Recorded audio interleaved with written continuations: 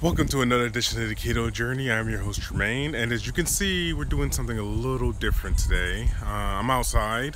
Today is Sunday, which is run day, but I'm not going to run quite yet. Uh, today is time for us to get out the house.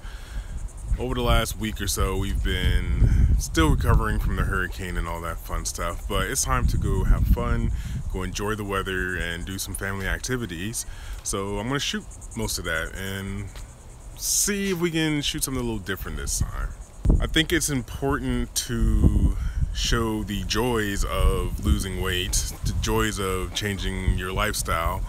One of those joys for me is being able to go outside with my family and actually having the energy to run around, um, not feeling overwhelmed because um, I don't have the stamina to chase these kids around the park or be outside in the hot sun. Now, don't get me wrong, I still don't like being in the hot sun. Losing weight's not to change that, but I feel a little more comfortable now that uh, I weigh a little less.